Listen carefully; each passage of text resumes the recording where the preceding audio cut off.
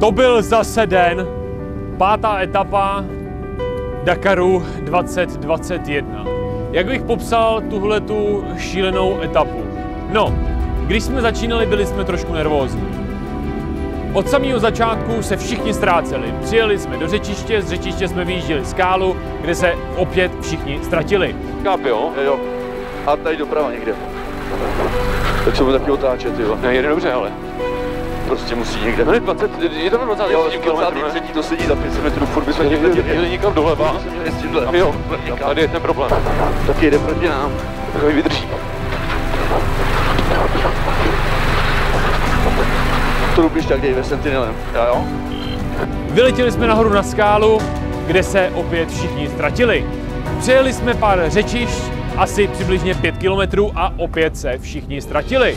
Takže přibližně takto vypadal start prvních 50 kilometrů, kde jsme se motali to pětka všichni dokola, to znamená kamazáci, jeden nás a my, a jezdili jsme tam mezi sebou a hledali jsme trasu, kam se to vydá. No nic, no. Pomalu, pomalu, dívejte se, dívejte se tady. Bylo tady.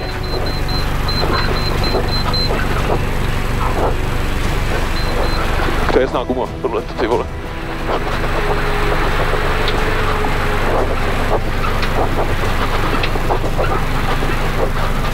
S tím dělat, ty vole. To bylo hodně záludný. Doprava, doprava. Čejte, jo. No. Ty vole, všichni se mrdají zase. Já jsme si měli dobře, ty vole. 45 pryč, prostě máme bod. 45 pryč, někam po pistě. Ty vole. Uh. Tamhle vzadu, tady doleva, doleva, tady, tady, toč pravou, pravou, pravou, pravou. Tak kam teda? Pravou, pravou, pravou. K- Kam je teda? Doprava úplně někam zpátky po pistě furt. No. no. ještě dvoje druhý zleva. Tady je dolů. Jo, mě to utáhne. Já si myslím, že bychom byli dobře normálně.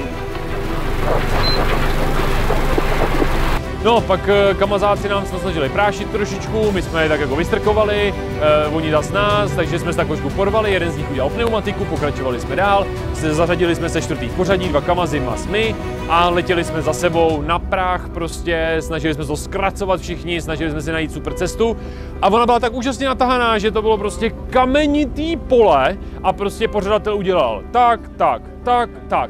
A v kamenách zatáčet, v kamenech zatáčet prostě je je těžký, uděláte defekt, musíte být opatrný a ještě při tom výjezdu do té skály už jsme tam dá- dávno už jsme zničili ty pneumatiky, takže jsme se báli. Naštěstí nás defekt nepotkal, za což jsem hrozně rád, ale bohužel i když jsme nasadili super tempo, pak jsme, aspoň jsme koukali, že jsme byli první nějakou dobu, tak eh, se nám dařilo, přijeli jsme na neutralizaci na 330 km, tam jsme si počkali, že tam máme čekačku 20 minut, nemůžeme opravovat auto během toho. A pak jsme vyrazili, no a bylo posledních 100 km Dun.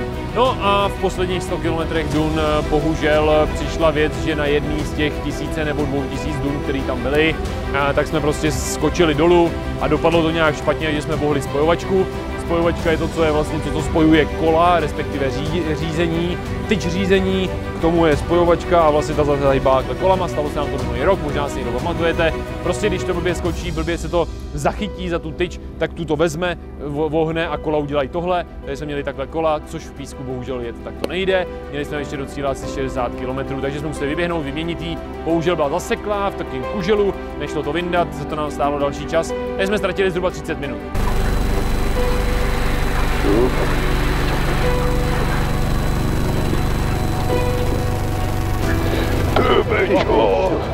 Ta byla pěkná.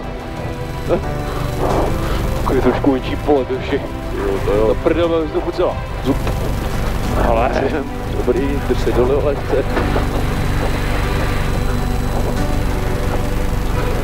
Ty vole, Taky dobrý. pěkný.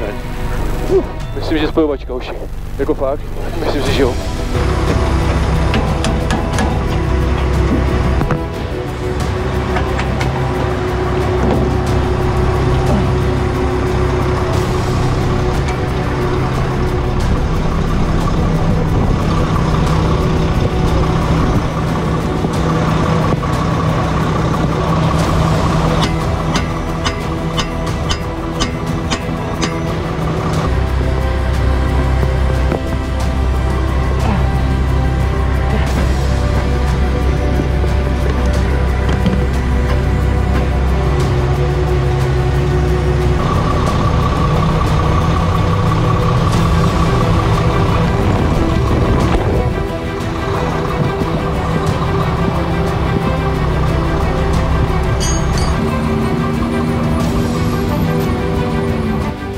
Nic hrozného se nestalo, prostě je to technická závada, takových ještě bude možná víc a může stát, může se to stát komukoliv.